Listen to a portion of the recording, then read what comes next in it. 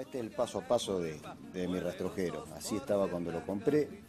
Me lo vendió un señor que me dijo que cuando lo restaure que se lo lleve a mostrar.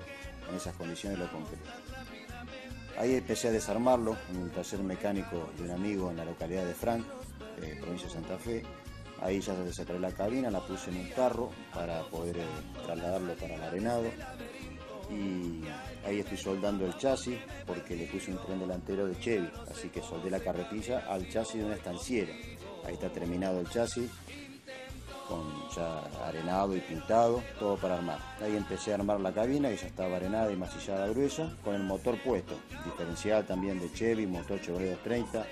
Este, ahí el tanque está puesto de adorno porque fue un tanquecito chiquito y van los tubos de GNC.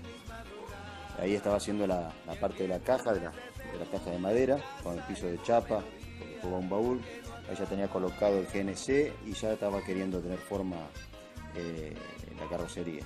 Allá está terminado con la baranda volcable y un baúl que le hice atrás. Los guardabarros delanteros son de fibra porque lo tuve que hacer más ancho, con la pisada más ancha de, de en sí.